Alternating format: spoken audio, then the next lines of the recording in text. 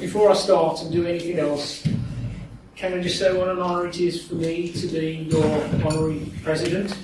And I feel I should start with, the, in the great tradition of the American, president, saying, my fellow black countrymen. I'm going to go on a tale tonight of why we are so internationally special. Why UNESCO gave us the accolade in 2020 as an, a UNESCO world class large heritage site. So, the way I'm going to do that is talk you through um, the types of UNESCO designations, because everybody only ever thinks of World Heritage Sites, but there's two others.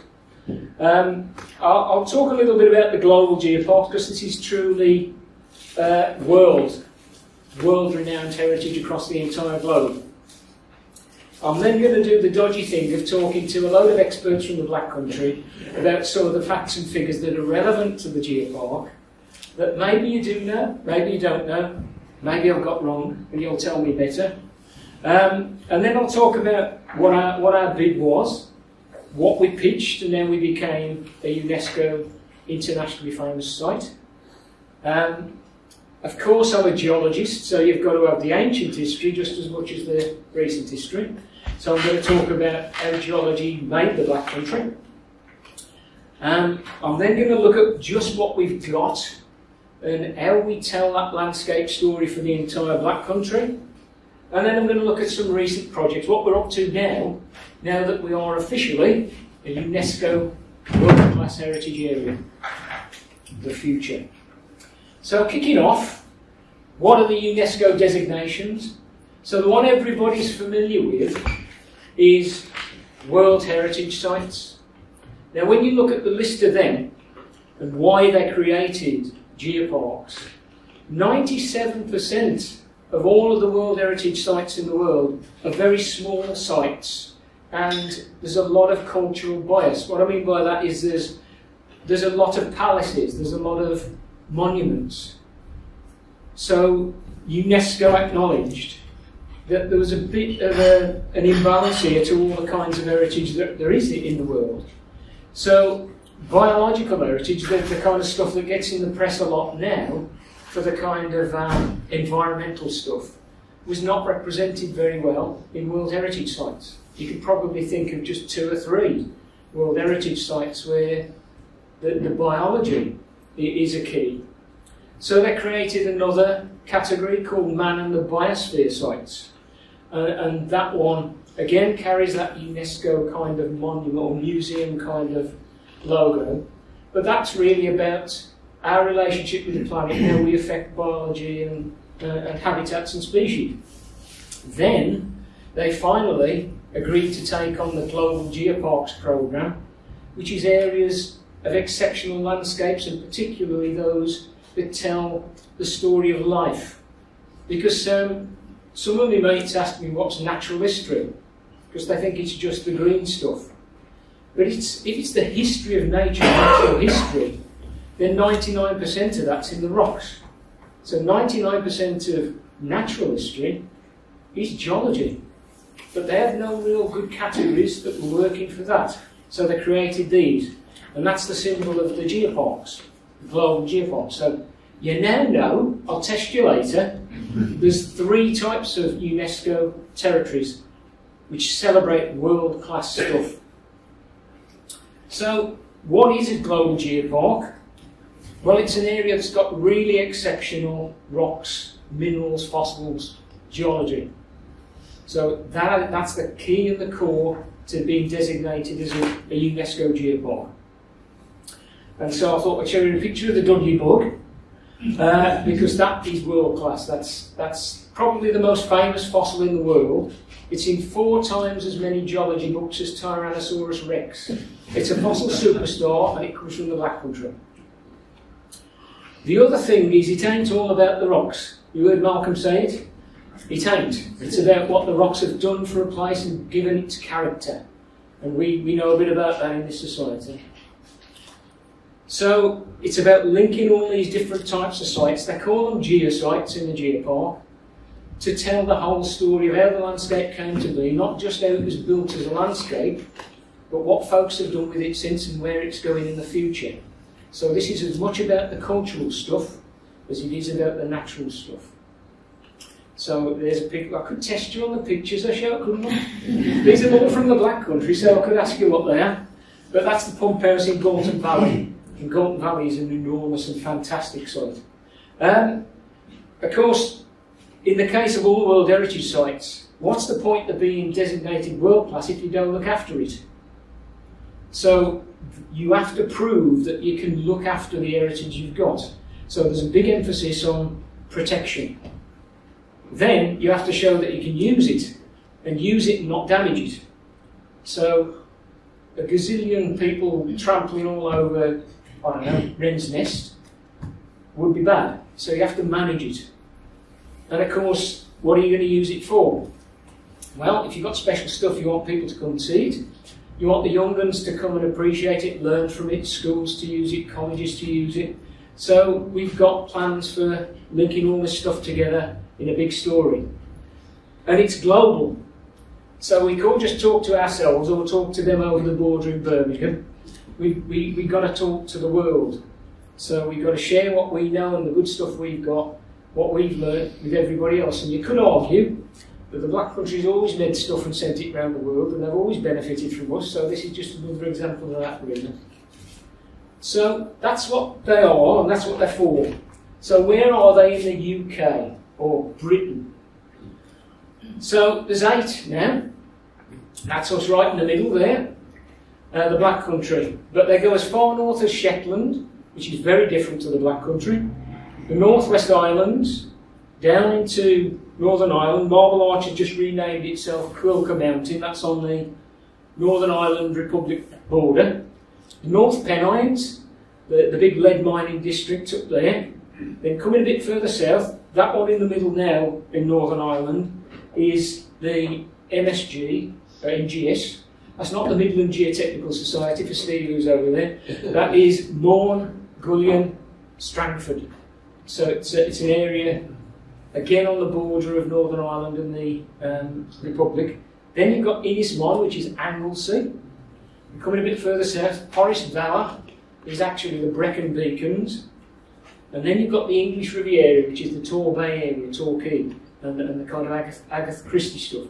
So when you look at that list just for Britain, the Black Country stands out as being the really urban one, the gritty one, and the story is going to be very different from the, the nice remote areas like the west of Ireland or, or northern Scotland. When you widen that a bit and you look at all the, the geoparks that there are across Europe, then there's 92 of them in all these countries, and to one on Sunday uh, to, to tell them about the Black Country, funnily enough. Uh, I'm off to Romania, but a bit more about that later. When you widen that out again to the entire world, then a couple of things start to appear. There's a big cluster in Europe, because that's where this movement started. There's a big cluster in China, um, very different origins to the cluster in China, and then the rest of the world has very little. Notably, if, if, anybody says where's a really great kind of landscape with some good geology, everybody says something like Yellowstone. But America are not signed up to the UNESCO treaty, so they can't have any UNESCO world class sites. so there'll never be, until things change, any World Heritage, world, by Man on the Biosphere or geoparks in North America. There are none yet in Australia, and there's only two in Africa. That don't mean that Australia have got no culture. It don't mean that they've got any good rocks. It simply means this is new. So we're in at the early stages of this new global heritage movement. And I'm very proud to be representing the team that got us recognised in that, on that international stage. So here's the bit where I'm going to uh, play with some stats about the Black Country for you. So in terms of our pitch to UNESCO, they wanted to know what our vital statistics are as the Black Country, why we are good as part of a network of global sites. Well, this is what we. This is a real summary of what we told them. But basically, we're, we're in the middle of England, exactly in the middle of it all, right at the heart of the country.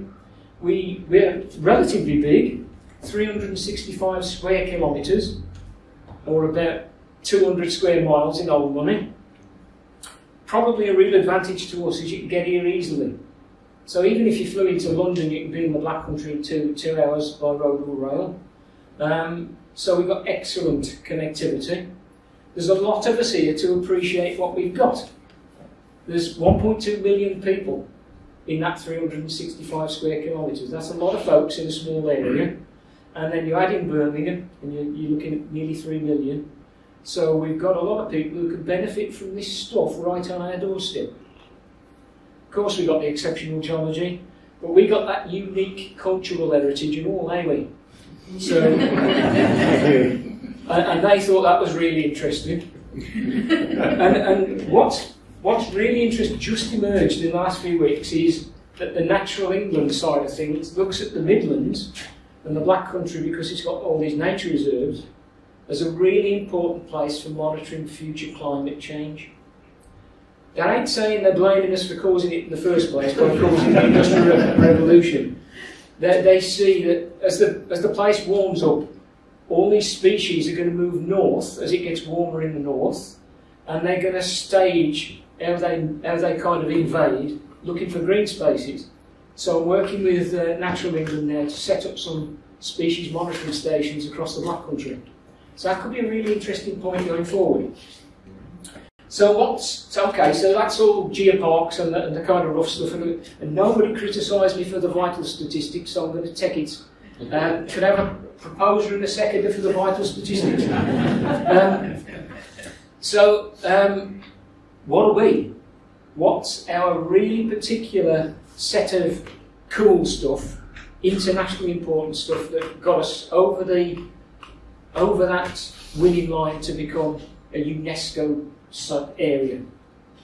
Well, I'm going to bang on about the geology, but it ain't only me that's banging on about the geology. This fella here, Sir Roderick Murchison, very famous geologist, like the St. Aidan and like David Attenborough of his day, said this in 1841. Nowhere in England are more geological features brought together in a small compass than in the environs of Dudley which is praising the natural wealth of the rocks below.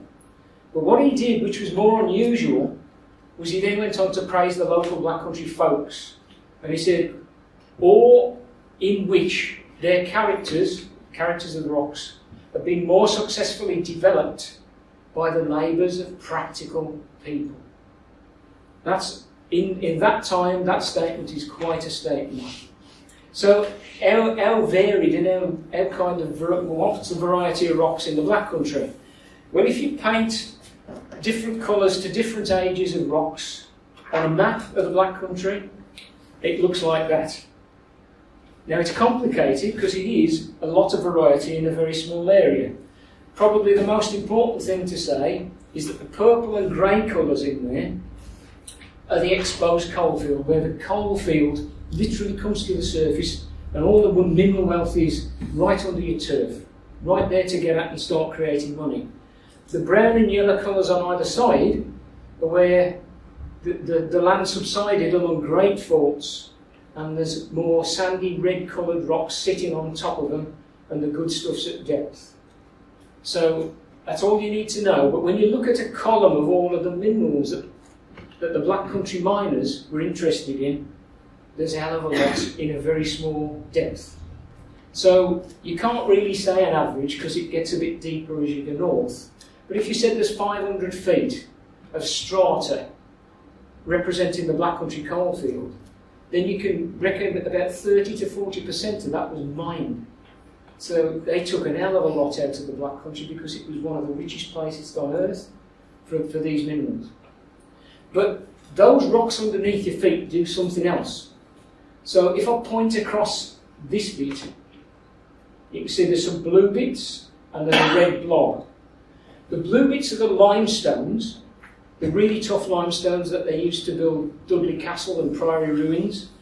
The red blob is Rowley Rag, the big molten rock injection, igneous rock called dolerite or Rowley Rag, that was thumped into the rocks at a, at a later stage, and that cooled to become really hard. So that's why they use it for curbstones and road stones. So you've got a, a swathe of really hard rocks running through there.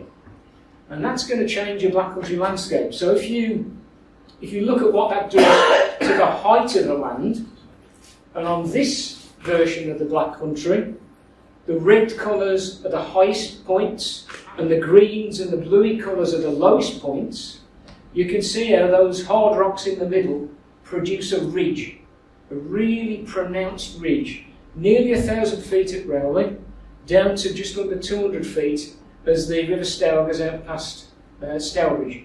So we've got 800 feet of up and down. That literally changes everything. So if you then look at what that ridge and what that topography does to where it rains and how cold it gets, and I'm sorry if anybody lives in Sedgley, because you'll, you'll get the honour of being the dark blue here is the coldest places in winter, and, the, and the dark blue here is the, is the wettest places. So you're the coldest and the wettest. But of course, that, the, the, the, the way the landscape is shaped, changes the climate where you live. And that changes the soils. So if you're out on the edges where the brown and yellow colours on that map work, you've got kind of pebbly and sandy rocks. So your, your soils are going to be sandy. So if you're out Wolverhampton Way or Wombourne or on the other side Great Barr or Tottenham Walsall, it's going to be sandy. That's going to control a few things because any rainwater is just going to soak away. If you're in the middle bit in the coalfields, it's now a mess. Trust, trust me. Me and Steve know this very well, trying to investigate things and build things. It's all over the place. It's all been churned up by the miners. A lot of it is the muddy rocks from the coal seams. So you get clay soils. If you're on the Renner or Sedgley or Castle Hill, it's limestones. So you end up with really alkaline limey soils like this. And if you're up on uh, Rowley or over in Wednesfield, you're getting really rich mineral soils full of iron. So you've got all kinds of variety from the ground, all kinds of useful stuff in the rock layers that, you know, canny old black country folks dug up and did things with. But it ain't only the, the people, because it affects everything it affects where all the different plants and animals like to be. So you can see from where you got the clay, you're going to get the watery bits, and that's where the, the bogs and the, the, the pond life's going to be. You can see with the limestone ridges where the trees are going to grow, particularly ash trees, which is a, another story altogether. Um, and then all, all sorts of soils giving us all sorts of biological diversity. That's one of the reasons why they want to use the Black Country and the new UNESCO Global Geopark as one of these climate change monitoring stations because we've got all this variety that might be suited to all these species moving north. And that's all down to what's underneath. Um, of course, we get in, we intervene with this as well. So when people play with the ground and then dump stuff or dig stuff up, we introduce all sorts of other variety. And Keith, I put this one in for you. So that there is the roundabout in Tipton. Oh yeah. That the, a few of us were saying, stop, stop mowing all the grass. You just, you just monoculture in the grass. Give it a few seeds and let it go, and you turn it into a wildflower meadow. Some of the tallest buildings have their own little climates, and they are really wonderful places for birds to nest. Where we dig up the ground and we expose the soil underneath, seeds which have been in there, which have never seen the light of day for 50 years, suddenly come to life, like the poppy fields we saw in Wolverhampton, Smestow Valley, not so long back. Where we chuck a load of furnace slag around, we get species that love the furnace slag. And then, of course, we stuck 100, more than 100 kilometres of canals threading through the entire landscape. And they are just migration corridors for all this wildlife. And then, of course, we've got our black country gardens. We like them, don't we? And yet, you, you heard Marlene talking about going to Ashfords and getting your plants. when you, when you bring them up, you attract new species. This is the hummingbird hawk moth in my back garden uh, on some of the plants that the wife put in. So that wasn't there before. So we're actually making it better, not worse, in the black country. Interesting, that is. Okay, so, well, how many sites have we got? I, before I go on to showing you the stats, how many designated important notable sites have we got in the Black Country? For culture, for industrial archaeology, for geology, for, for wildlife? How many? Well, I'll guess. I'll take any guesses. You can't be wrong, because we don't know the full answer. 32. 32. 32 sites in total across the Black Country. 120. 500. 500. okay, shall we have a look? We, so we've got a range that goes down from 32 up to 500. Any other takers? 2,000. 2,000. Right, let's have a look.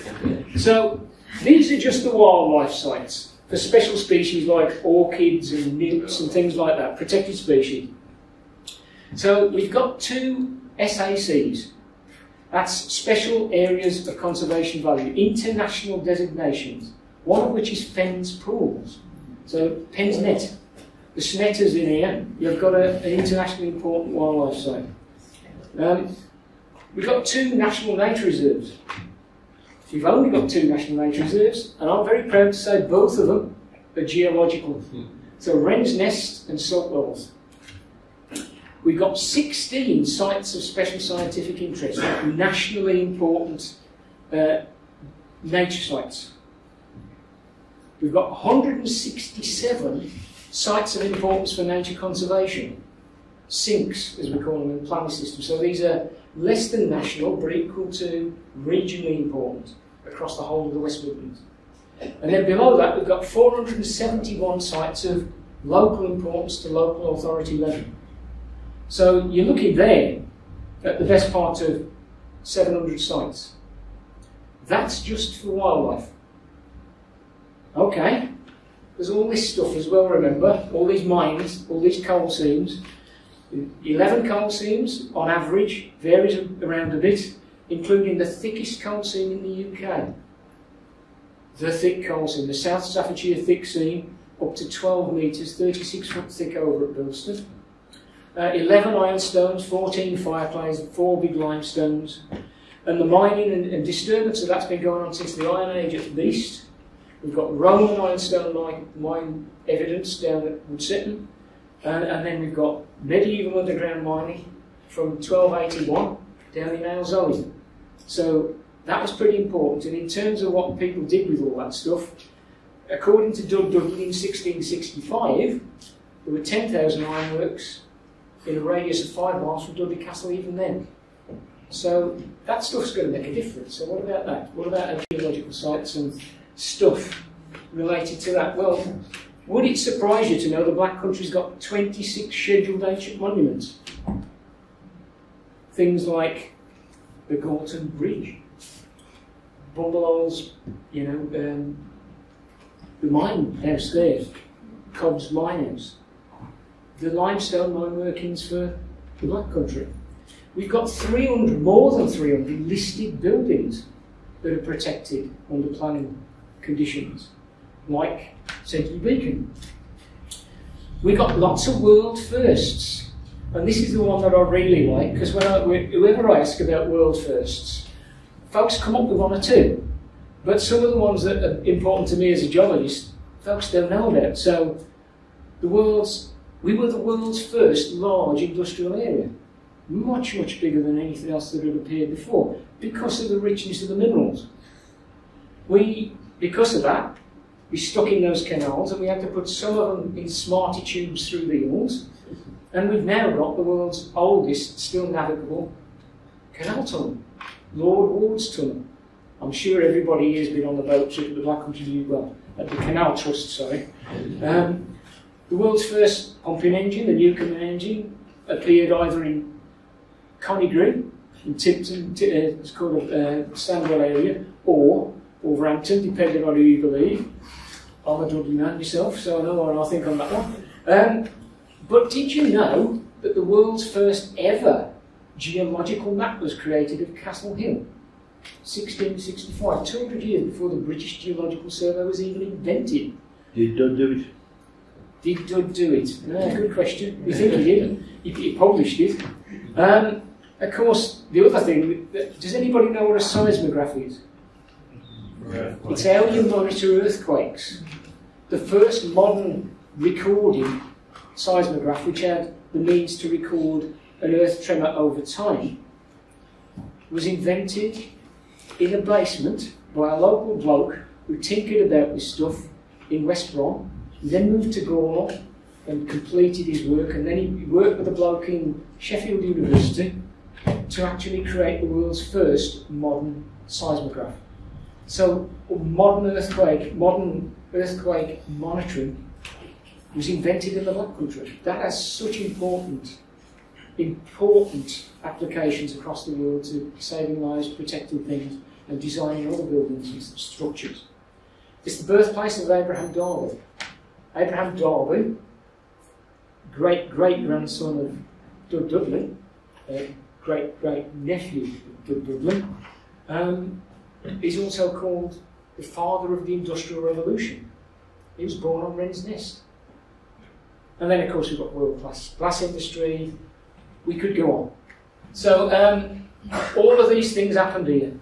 The other thing we haven't mentioned at all is art. Because one thing us black country folks have always been good at is expressing ourselves, one way or another.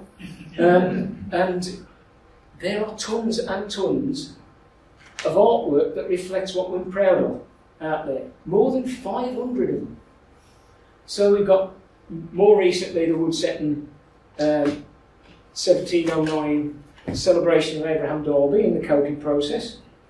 We've also got Jigger, the Brownhills three-storey eye silver miner it, it, standing in the roundabout right in the centre of Brownhills. That, they are all testing, testimony to the minerals and working with the minerals and the metal bashing and the, the things for which we are named as the Black Country. Another one which I think is brilliant, which again I don't know if you know about or not, but um, the world's first high altitude balloon flight was done by a chap called James Glaisher and his mate Forsyth. And they, they literally filled a, a giant balloon full of coal gas from the coking works over on Stafford Road in Wolverhampton and just floated off into the great unknown. Reached an altitude of 30,000 feet, basically passed out and got frostbite, but discovered the jet stream. They, they took with them scientific instruments, some of which are still on display in Bantock House, uh, and basically created the modern science of meteorology. So when you're watching Shefali on the news or whatever, all of that prediction began with a flight from Stafford Road Gasworks. The, the balloon was called the Mammoth, that don't refer to the ice age in this, in this case. It was a huge balloon full of this gas, and Glaisher Drive is on the science park there, honouring that discovery. But most folks don't hear about that one. It's just another example. And then in terms of the arts, well, of course, you name it, it's there. Paintings and capturing the way it used to be. Edwin Butler Bayliss is probably my favourite artist ever. Um, people were inspired by it for writing books. Dickens, Tolkien, of course, was inspired by the Black Country in a more negative way. Um, filmmakers, James Whale is the famous one, and a lot of the stuff he came out with is kind of dark and uh, moody as well, like Frankenstein. Um, but then you've got your, your musicians and your poets. I'm sorry Emma's not here tonight. Um, or we could have had a poetry standoff, couldn't we, with, with Marlene at the back there and Emma. Um, so, um, but the rock music in particular is a genre that came about through all the, the, the, the sounds of industry, the, the incessant roar and din of the furnaces and the, the metal pounding. So a lot of bands that uh, came out of that preferred the heavier metal side of things, and I must admit, kind of like that myself. Um, and then, of course, our local dialect. Apparently, we speak proper British because our language, the Black Country dialect, is supposed to be as close as you can get to Chaucer's language. So our dialect goes back hundreds of years, and of course, I really, really love the traditions of beer and curry. And so, uh, so I'm, I'm, I'm very much into that, and I celebrate wholeheartedly the people at the back there. Thanks for doing such a good job and keeping us going. with the ale. So there's all of that to celebrate. So that's what we've got to shape as a menu for the Geopark. Collect all that together and you've got the story of the Black Country. But that's an awful lot of doing. All of this stuff, there's just some artworks in case you think I'm mad saying there's 500 of them out there. there there's just a few things, and we could, if, if I was short of time, finish here and just play a guessing game for all of these, but you can see how it reflects all of that heritage. Um, so, what, what did we do? How did we do it and when did it happen? So, the roadmap that we, we went on to become a UNESCO territory began way back in about 2010 when the Black Country authorities and the Black Country Consortium started talking about what can we do with all this really cool special stuff that the rest of the world ignores. Nobody sees us because we're an urban area. And so we started exploring a thing called the urban park. So you may have heard of that. And that was the idea that there's a lot of green spaces in the Black Country, and they kind of connect, but they ain't connected, and people don't think of them that way because we, we think of the bit right next to us on our patch. This society looks across the whole lot, which is why I'm so proud of it. We put an application in in 2015, just at the point UNESCO took it over and changed the rules. Great. Um, and we had a visit from an international party in 2016 and a response saying, you, are well on the way, here's a few things to finish off. So we put our final report into UNESCO in 2019, and it was due to have a decision on it in March 2020. Us black country folks don't do anything the easy way, do we? So, well, obviously, that went out the window. They couldn't meet. So UNESCO held some emergency online meetings, and we finally got designated on the 10th of July 2020 I was on the phone saying, can you make it the 14th of July? Because that's Black Country Day. But we missed it by four days. So we effectively became a UNESCO territory, the whole of the Black Country, for all of that cool stuff on the 10th of July 2020. Then there's a four-year rolling programme when you get re reinvestigated to see how you're getting on, what progress you're making. But because of COVID, they brought it a year forward for us. so, we, so it's happening this year in June. So expect, all of you expect a call from me at some point. A, we need a load of folks looking enthusiastic about the Black Country. The Chinese inspector is going to be at Tipton. I want you to turn up and look enthusiastic and speak proper. so anyway, there's too much. There's nearly 2,000. So this lady here almost landed it on the name. There's almost 2,000 designated really cool features of the Black Country to try and include in that story. UNESCO were having none of that. So we want your internationally your best, your nationally your best, and you can have a few others, but you, you ain't having 2,000 sites. that would be eight every square kilometre, more or less. So, believe it or not, there's stuff everywhere in the Black Country, but most of it is tucked away in the urban landscape. So, how do you choose? So, we went about shortlisting it. We thought, okay, what have we got? Well, we've got obviously a lot of stuff. Let's pick the top 50. Got that down to 45, which they accepted. Not just the special geology, you've got to prove it's there, so you've got to have them, but also some of them wildlife sites that are really, really important, nationally important, regionally important. Some of the cultural sites, the mine buildings, the living museum, the tunnels, that sort of stuff, Galton Bridge. But most of them are a mixture of everything. So, a bit of everything. And so that's what we went for in the finish. Don't finish there. Two years ago, UNESCO brought this out. It's the United Nations things you've got to be aiming at for sustaining, sustaining your future. So these are sustainable development goals. And as you read across them, you'll see it's, it's all the stuff that every decent person is trying for anyway. We don't want to see anybody in poverty. We don't want anybody to go hungry. We want to be sure that everybody's got a good quality of life, that there's good clean water, that there's a good environment, that we're doing our best for energy resources and to stop excessive waste. We're trying to provide jobs for everybody. So then the geopark's about really getting into the, the nitty gritty, using that heritage to do something better for this area, to raise it up, to give it that profile internationally, to get people coming and investing in this, and to get them jobs in there for the young ones. Um, so we've got this continuous improvement mantra. UNESCO inspect us to make sure we're making progress, and we are going to do that. So we became a UNESCO Global Territory on the 10th of July. UNESCO gave us a few recommendations to strengthen us and to give us guidance as to what they think we could do going forward. They were get more of the branding out there, let people know you're UNESCO, this is big stuff. The area's never had this international recognition before. Strengthen the management, get more of the big hitters involved, do some capacity building, get more people doing stuff. Um, the sustainable development stuff you saw in that last slide, get more involved in that.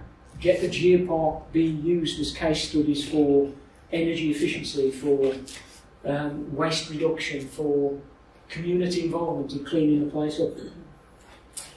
Uh, they'd like us to get more of the educational side in. Um, I'm not going to do any critique of the UK's educational systems, but the international bodies just feel it's lacking a bit in commitment to the environmental stuff.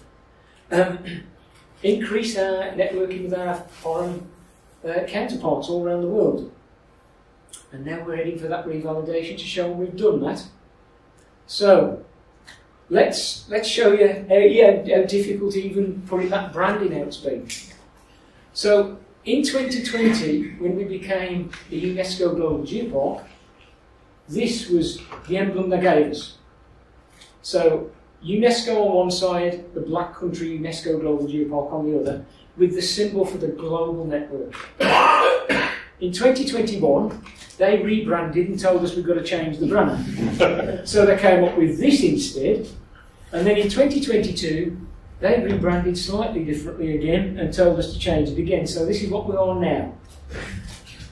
And trust me, I really wanted something more of a logo that had more of well, the Black Country Society's kind of diversity of why the Black Country's so cool. But we couldn't get anybody to agree what was best. Uh, that's really tricky, people who do the branding. Um, so we had to write some new brand guidelines so that anybody who wants to use the brand knows how they can use it, where they can use it, why they can use it. Um, we then started reprinting everything. Yeah, we've talked about the cost of things today. That was a real pain.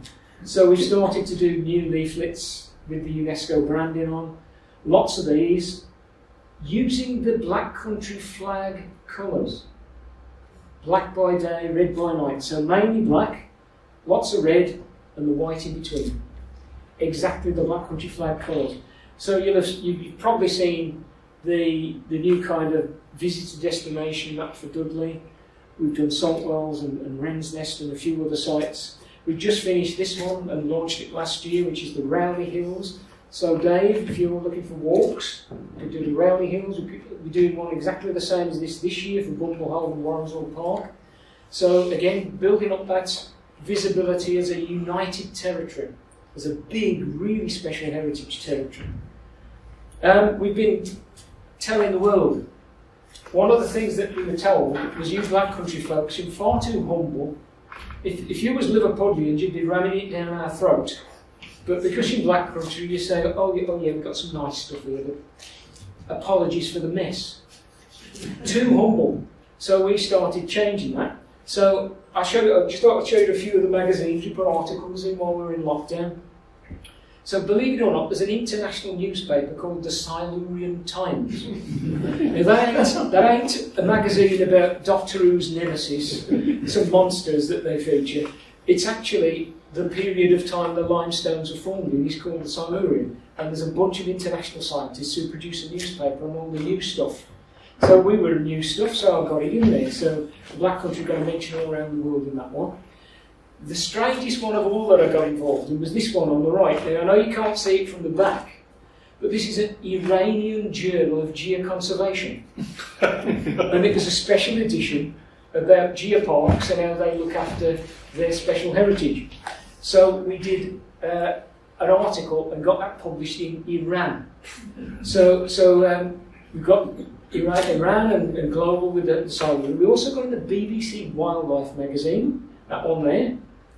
And this is an international oil industry journal um, from a company called uh, Neftex, who wanted, they were looking for areas where they could teach their oil industry geologists. Again, I'm not going into the, the ethics of that, but basically where there's good stratigraphy, good sedimentary sequences laid down in seas or rivers or deserts that they can use and model and teach their stratigraphers about how to find oil. So that was an American one. So that's gone, that's gone to America. They can't become a geopark, so they're probably jealous when they do this. Um, and then the European Geoparks Network, We've got a journal, uh, an article in there about the Black Country and about why we're special. That goes to uh, 177 geoparks in 47 countries. Um, and of course, those poor souls who, who found themselves struggling for things to read uh, during lockdown, I did 500 daily posts. Each one was an article about one of the special features. So I've still got 1,500 to go before we complete that. Uh, but about all sorts of things, and that's online on Facebook. If you want to track back through it and you've got any interest in any of the geological, cultural, or biological sites, there's something in there to please you. So you track back over that. We got on telly as well. So just before we became a geopark, we did Countryfile. Um, and that's Ellie, oh, that's me and Ellie chatting away in the singing cabin. Uh, that was an interesting experience, I've got to say, with, a load of um, BBC crew and, and, boats coming and going. We had to keep running into the side door and hiding, and then coming out again and carrying on.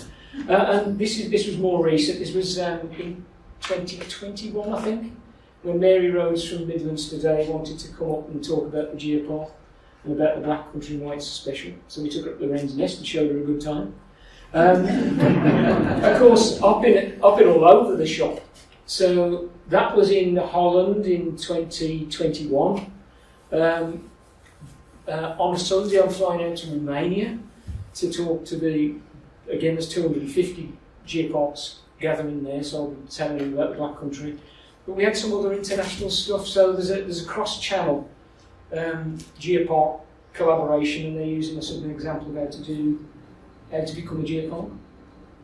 Uh, Geopark Armorique, which is Brittany, uh, we're doing translation for them and helping them to understand a few things about the geopark process and, and the geology of Cornwall, believe it or not.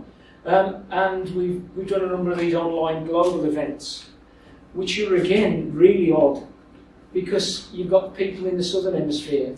You're, you're about to start your day at 9 o'clock, but it's 9 pm for them. So, what time of the day do you start an international meeting with a 24 hour day time change? So, we got people in, in Japan getting up at 1 am to join us for a six hour meeting. It's commitment, this thing is, I tell you. Uh, so, we rest assured the Black Country is on an international stage and we're banging the table and showing them why we deserve to be there and why they should be thankful we are. Um, of course, we've, we've tried to get some visibility out there for folks as well, and you'll see some of this as you drive around the Black Country. Some of it's fairly in your face, like the, the new Wren's Nest stuff, which also says, oh, home of the Dudley Bug that was the pride showing through of the Wren's Nest Wardens. And so they put Home of the Dudley Bug in front of the Black Country UNESCO Global Geopark. so, so we know we know where the pride lies with the Black Country folks. Of course, even where we've got modern stuff going in like this, we've stuck the we've stuck the branding and the logo down here, so that people feel just how important, how globally important this stuff is. You may or you may not have noticed if you were paying attention to the road, I'll forgive you for not noticing the road signs. But if you find yourself crashing into a tree because you're reading about the Black Country uh, Geopark, you can't sue us, all right? But there are 10 of these new road signs going up. So in, in the Dudley area, or coming and going from the Dudley borough, you'll see signs that say, welcome to the town, and then black, part of the Black Country UNESCO Global Geopark is, is this next banner. 10 of them are gone. Walsall are about to do another 10. And I think we've got some more going up as well in the early part of next year. So we're getting out there. We've been fiddling about with new technology. So new audiences, the kids like the, uh, the virtual reality stuff. So we've been dabbling with that as well. So we, if you go online to the Geopark website, you'll be presented with a three-dimensional walkthrough of Dudley Museum on the top floor of the archives. So if you've never been in there and you've no intention to go in, you can at least visit virtually and walk your way around. And there's even a bit of video that David Attenborough narrated it showing on that. So if you don't know where the archives building is, it's this funny looking thing here, next to the entrance to the Black Country Museum, and we're on the second floor. So if you haven't been, come and visit us. Um, but we've also been doing some of these gaming things. Uh, So, You're lapsing to American, you're on the first floor, aren't you? first floor. What did I say? Second. Oh, sorry, first floor. Well, American? well, I am the president. Could be excused that one bit. So, so we've been dabbling with virtual reality on some of these sites as well. So there's a there's a planet trail, a solar system trail around Walsall Arboretum. So if you've got your phone and you log in, you'll be walking around. You'll come to a feature like the glacial boulder next to Littleton Lake, and it'll go ping, uh, and a picture of Saturn will appear. And it's, it's basically to get the kids to, to learn the solar system. And they get points and they can compete with the schoolmates. We've also got a virtual reality tour of Red House Glass Cone. So that's another one. If you've never done it, a new, a new series of red, white, and black signs went in telling the story of glassmaking on that site. And for every one, you shine your phone over that, and a video will come up or some extra information will come up. So we, we try them. We're trying these new gizmos. Um, I have no idea yet if they're going to be as positive, um, positive as we are. Right, I'm getting through some of the good stuff, but I'm getting you back to rocks now. So one of the things we have to do is manage our sites, maintain the sites, make sure they're they're up there and in everybody's face so that folks can enjoy them and that people can study them and learn from them. So this is the kind of game. So I'm going to show you a few examples of a few of the sites in the geopark. So Stafford Road, where we talked about the gas balloon going up, has a little quarry round the corner called Gorsebrook Road Quarry. And it was landfilled and out of bounds. So you couldn't go in there, you couldn't see what Wolverhampton was built on. So we had a dialogue with the planning department. They cleaned it up, and as part of that, the old rock faces that used to look like that, which you couldn't see a rock face, you wouldn't have known it was there, now look like this. And that's allowed me and some scientists to go in and have a really close look at them rocks and work out the history of ancient rivers that overlap to build up the plateau on which Wolverhampton stands. So a bit of science coming to that. But of course, we also need to explain it to everybody, and because it ain't all about geology, we've got a little bit about geology in the landscape, and then there's a big bit here about the manor house that used to stand there as well. So we- we're wrapping it together. No longer sticking ourselves in little pigeonholes. I, I'm a wildlife person, I'm an industrial archaeologist. This is about the landscape, it's about everything. Um, and so that's now on the fence there at Gorsebrook, with a new fence and management regime in place for that one. Anybody familiar with Bumble Cobb's Engine House and that lot? Well, if you, if you were if you were doing your daily exercise during lockdown, you may have noticed that there's a whole suite of brand new paths gone in there. So that's really improved things. And on the back of that now, we're writing the new Bumble Hole Trail. So that's another one for us. Uh, Walsall. There's a really interesting project we've been doing in Walsall called Purple Horizons. So it's all about creating some new heathland. Believe it or not, all them sandy rocks all around the edges of the coalfield used to be covered in heath and linked up as one massive heathland area. Natural England have got ambitions to link it all back together again. As we developed the land and we built our towns, we chopped it all up, we carved it up, we broke all the kind of green connections. So there's a project kicking off now, it's a national project. We've called our bit of it Purple Horizons, and it's basically we've got four years. We're going to be turning it back from wasteland to heathland, uh, and it stretches all the way from Cannock Chase through Walsall and out to Sutton Park. We're going to try and do all sorts of stuff with education. We've made some films. There's going to be particular focus on bees and wasps, the pollinators. Because again, if you've seen any of the recent news, there's a real worry that we're using all these chemicals and killing all the, the bees and the wasps. And actually, that's a problem for the farmers whose crops are not being fertilised uh, and are failing. So we, we've done some work, and I'll show you this in a bit more detail. So Barr Beacon, if any of you know that bit of Walsall, has this big quarry called Pinfold Lane Quarry. And that provided a lot of the sand and gravel that built a lot of structures in Birmingham and part of the motorway and stuff like that. Well, back in 20, 20, 2009, when we started putting the bid together for the geopark, that quarry looked like that. In 2015, when we actually submitted the bid to become a geopark, that quarry looked like that.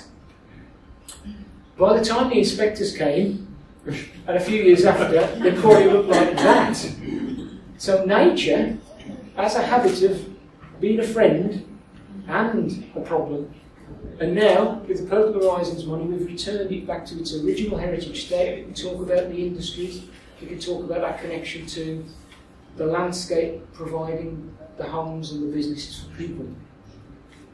The, the interpretation that's gone up there is around this idea of the sands of time, those sandy rocks, and the fact that sand's often referred to as running out. So we designed it around the old hourglass um, and placed it in positions where it really tells you what you're looking at.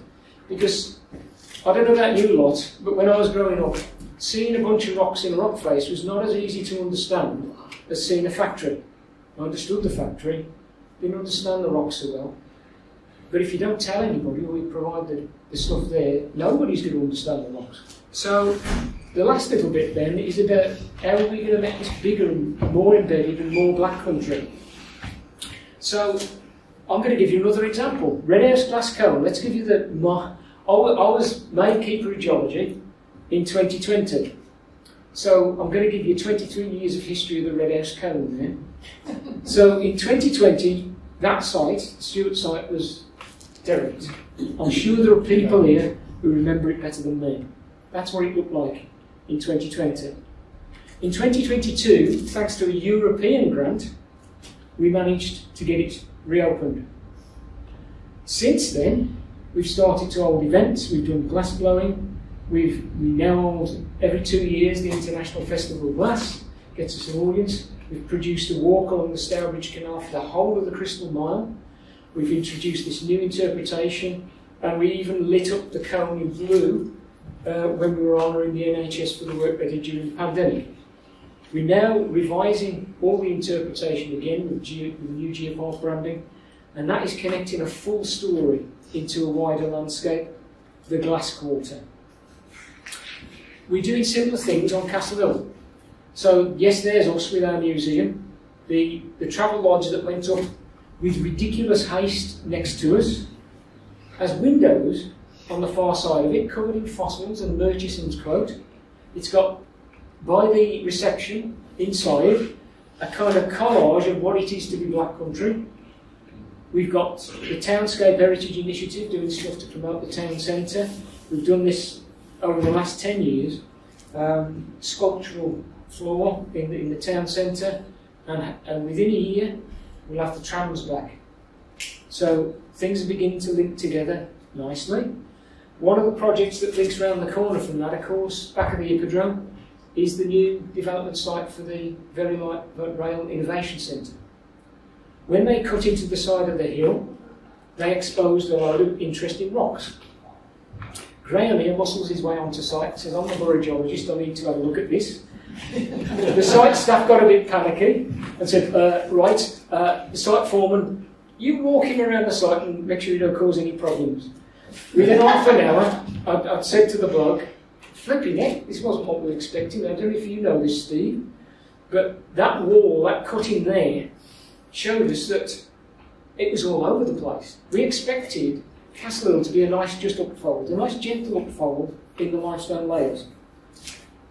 On the Black Country Museum side, the layers, some places are horizontal, some places they tilt to the south towards Merry Hill, and at the north they go north towards the Black Country Museum. It's been shattered, twisted and bent, and these white layers in it are volcanic ash layers, ten of them. Never seen them before. So we did a bit of science on that. We also found a shed load more fossils. So the Dudley Museum collection expanded by almost a thousand specimens from that one site. Some of them unlike anything we've seen before. It connects, of course, down all the way down Castle Hill through the Living Museum and on the back on the work they've done with the footpaths, down to the Canal Trust. Canal Trust allowed us to host the UNESCO Global Geoparks 2022 meeting there. Showed us some of the new scanning they've done underground. The tunnels are now scanned to millimetre scale. So we've got a really interesting virtual model of the canal tunnels now. Um, forget that one, Kepi Quarry. And Saltwells, the other national nature reserve. We've done a bit of work on footpaths and clearing stuff. Canal River Trusts have done some of that with us. It was only declared as a national treasure, a national nature reserve in 2021. So it, it's the newest English national nature reserve. Wren's Nest is the oldest English national nature reserve for geology. So we've got the alpha and the omega of geological national treasures in the Black Country. Needless to say, we've celebrated that a bit. There's a, there's a new Warden's base there with a teaching classroom. There's a new video being made around all these wonderful features on site. And we created some new interpretation. So there's all stuff to come. I'm showing you a glimpse of the future here. We've started to work with the Prince's Trust to transfer land management skills. Now, the black country ain't the black country we grew up in, with the factories and the, the noise and the products going out. It's increasingly green, increasingly managed space. So we need people, young, younger generation, to know how to manage things sensitively. So we've started doing um, NVQ courses on land management. This, this was last year with two cohorts of Prince's Trust people. Four of them have gone into this and got jobs here. We've also been doing stuff with the bits that were a bit despoiled. Now, you wouldn't have noticed this unless you were involved in the management. But this is the side of the Dudley number two canal. And in one area where the tramway goes off down there, the old tramway, there was an area of dumping against this rock face. So earlier this year, we got in there and cleared it out.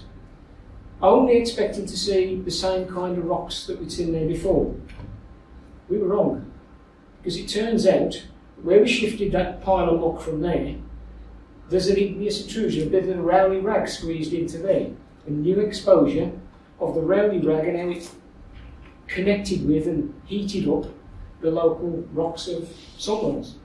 But what was even more interesting was bashing around a bit further along that cutting, we started to find a new fossil horizon. So, two absolutely unexpected new additions to our understanding of how things formed in the Black Country. So, we're going to continue doing these international meetings, we're going to continue doing exhibitions. We did an exhibition in Paris outside the UNESCO headquarters last year, and the middle panel there, that one there, is a panel of our geopark, telling, telling everybody in Paris, Paris is okay, you should see the Black Country coming um, and we've held a few international meetings with international parties, and that's growing as an audience. Um, I think there's another thing that's coming in now that we're involved in, and was specifically written into the brief, which is the metro. There, there are 13 stations planned in the, the, the cross cross country, cross city metro station. So as it goes, not the line that's in at the minute, but the one they're working on now, the cross city line. Uh, there's going to be 13 stations, and from the outset, the the team behind it, the Midland Metro Alliance, wanted to do an arts project so that on each of those stations, if you're standing there waiting for the tram, there's something telling you or reflecting what's really special about the place where you're standing.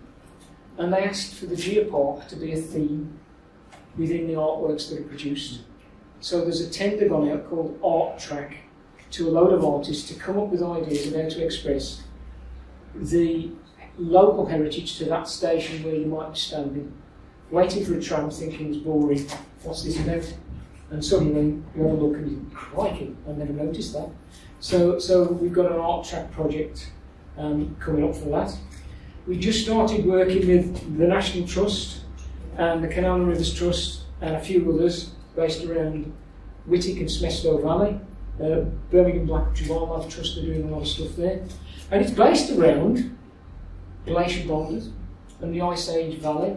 Smestow Valley is a meltwater valley that was created when the last glacier melted 12,000 years ago. All that rushing water cut through the Tettenhall Ridge and created a pathway for us to get a canal in, in the first instance, and to mirror that with a railway line, nice and easy into uh, Wolverhampton.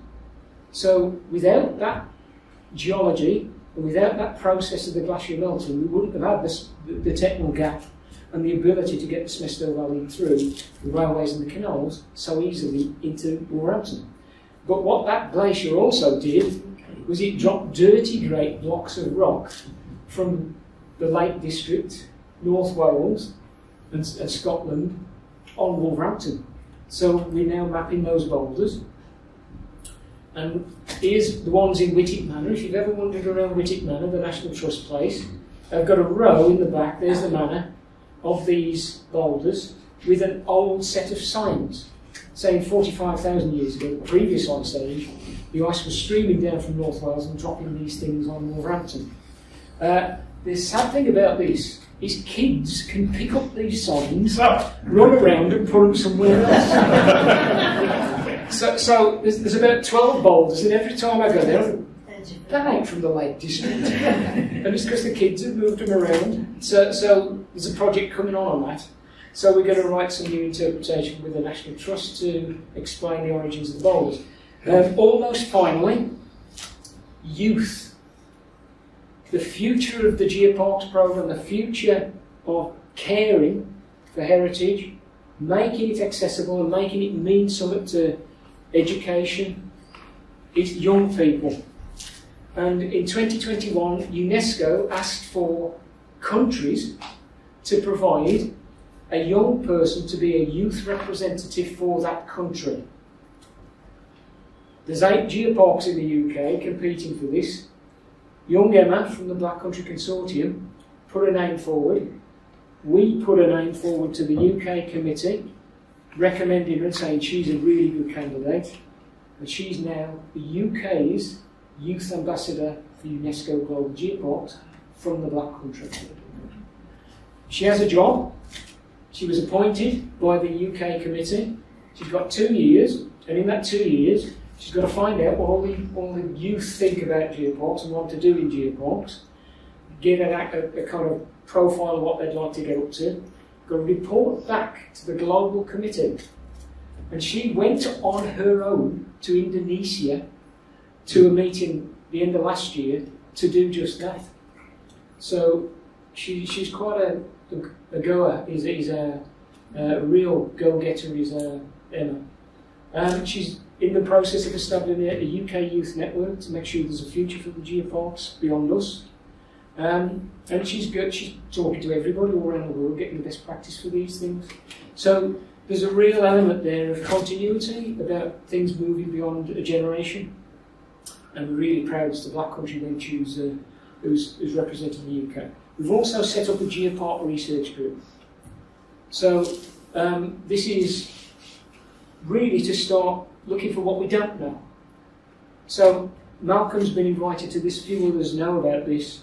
But basically, what don't we know about the Black Country? So what don't we know about the geology? So me and a few people are looking at that, and there's plenty of that we don't know. Um, industrial archaeology, archaeologists, plenty of that we don't know. Um, and there's quite a bit, as I say, that we don't know about the wildlife and the biology and how that's changing. So we've set up a research group. So we'd like to get more people involved in that. Natural England will be involved, the universities obviously, local authority folks, various specialists, but also people who've just got good knowledge. So we just need to know what we don't know. There's one for you. If you remember nothing else from tonight, you'll say, our new president, he said, he's asked us to tell us what we don't know. so we, need, we just need to work out. Um, and so finally, what are we developing? Well, Coastal Horizons, that idea of that ether is a big project, four years. There's stage two kicking off now. We've got Brierley Hill Regeneration Zone. It's called the HAZ, the Heritage Action Zone. So we're about to start looking at all sorts of interesting heritage links to try to lift the town of Hill, to give the boost and the profile to Hill. Um, Bumble Hole, as I've said, we're developing new walks, new ideas. The friends there are very active. We've got some good support there. Stour and Smestow Valleys, we're now looking not just the boulders, but now a whole kind of holistic heritage trail. Um, Wightwick Glacier boulders, obviously. Uh, one of the things that we're talking with the West Midlands Combined Authority about is a long distance footpath and cycling trail. So the Mayor is very keen on this, Andy Street's very keen on this. There's a group within, and I had a meeting the other day the Ramblers Association, Sustrans, um, all four of the seven metropolitan authorities that cover the West Midlands County. And the idea, although there's no map yet, because that was what I was asking about, is to have a look that goes all the way around the edge of the seven boroughs, so from Coventry to Wolverhampton and us on the west, right round the outside. And what they wanted me there for is we are a UNESCO site, a territory, internationally famous now, and they want to bring little loops off that outside trail into the geopark. So in the, in the north, they'll have the kind of Heathlands, Heather and sandy stuff. On the west, they'll have the glacial boulders and the Wolverhampton heritage. As you come down south, we bring them into the coalfield and we bring them into the glass quarter. And as they go back around the west, they'll go out via chain making and iron making back over into Brum. So that could be really interesting. That's a long-term project, it's a five-year project. Um, we did a photograph competition last year. Some of you may have submitted some photos of your favourite favourite Black Country sites. We're doing it again, so that will be coming up in the summer. Um, we've got some research projects kicking off could talk all night about some of these. And we're talking about having a Black Country UNESCO Global Geopark Festival. So maybe we can use the two ideas together to really boost the Black Country profile of the Black Country Festival. Um, and that, so that's where we're going. But what do we really want it to be? I'm going to finish on this one. Well, we really hope that we can raise that profile of the black country to where it is, where it deserves to be, but where in people's heads it isn't. So people still pass round the black country on the motorway network and don't get off to explore. Don't, don't understand just how special and how important this place was to their quality of life wherever they live. We will champion this across the world. We're on that stage. Thanks to the Geopark, we're on international stage. We're going to shout it from the rooftop rooftops, just like the, the Scousers do. Um, there's always been local pride and individual boundaries where people will do their stuff. But I'm, I'm, very happy here thinking I don't want to play with the Black Country. I'm happy being my little attraction, my little whatever. But we're breaking that down. We're all part of the Black Country. So we say, no, no, we ain't just this or that. We're we're part of this big story. We're stronger together. Imagine, imagine any attraction, any nature reserve as a, a, a string of cotton that you can snap just by tugging on it. But you wrap 200 of them together, you've got a rope, and that could pull a ship. So if we just keep doing our own little thing in our own little corners, we ain't going to be a black country, we're going to be a load of broken threads. So we want to break down the barriers and bring us together in the geopark idea. Um, if we get more local folks and more younger local folks interested in the heritage, they'll care for it, and that won't help us in managing it. Of course, the stronger the interest, the greater the protection.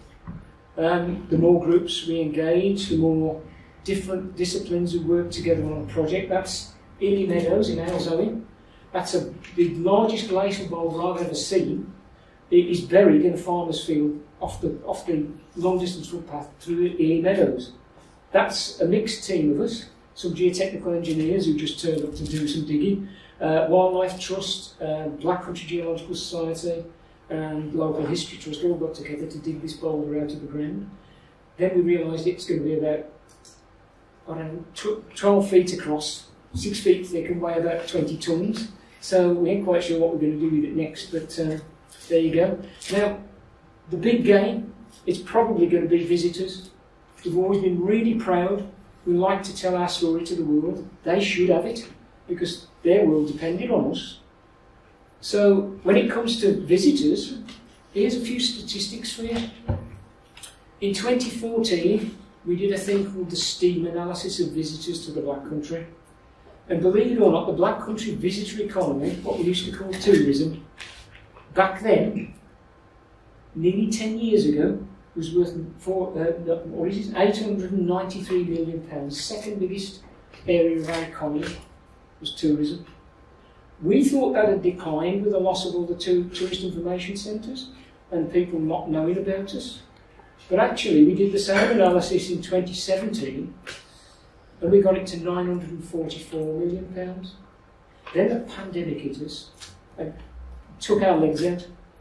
But now we're coming back, and Christmas, every attraction you can think of was sold out for the first time since the pandemic. So we're just undertaking the next STEAM analysis, and I'll be very surprised if we don't break the one billion pound barrier.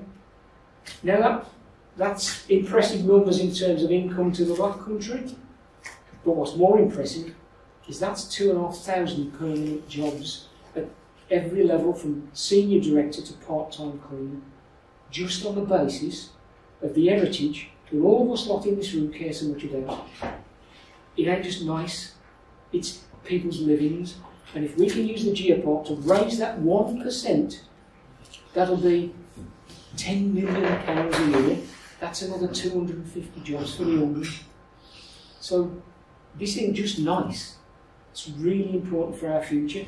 And the one thing that the heritage does, if we do it well, that the minerals didn't do for us, it doesn't get mined out. The more you use it, it gets bigger.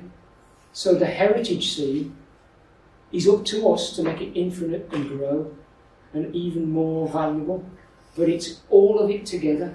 It's the wildlife, it's the cultural stuff, the industrial archaeology and the geology and the landscape together is a menu that nobody else on the planet has got. We have here in the Black Country. So with that, we'll do more learning. We'll champion the green stuff. We'll all have more opportunities to do and see the things we like to do. That's where we go with the Black Country thing. Thank you.